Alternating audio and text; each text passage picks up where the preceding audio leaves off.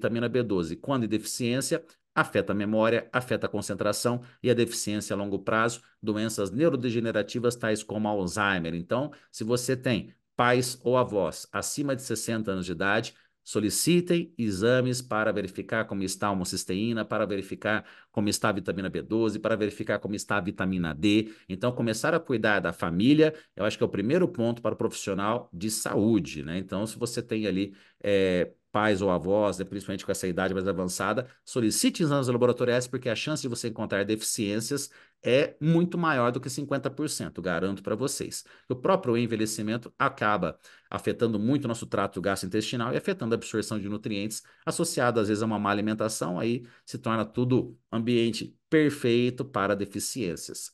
Então, falando aqui de, de homocisteína, né? Todos esses detalhezinhos aqui que eu já acabei contando para vocês. Um assunto também que está muito em alta aqui, nós temos um módulo inteirinho na nossa pós-graduação sobre isso, que é a disbiose intestinal, uma saúde intestinal afetada, até mesmo o próprio estresse por conta né, da relação intestino-cérebro mediada pelo nervo vago. Nós temos aqui um impacto muito grande no nosso intestino pelo fator emocional. E você? Que vive estressado, afeta o seu intestino e acaba gerando aqui uma deficiência de vitamina B12 e até mais outras situações devido à diminuição no, no processo absortivo, né? Para vocês verem como que é, tudo está ligado, tudo é sistêmico, não adianta estudar só intestino ou só estudar exame, tudo está interligado.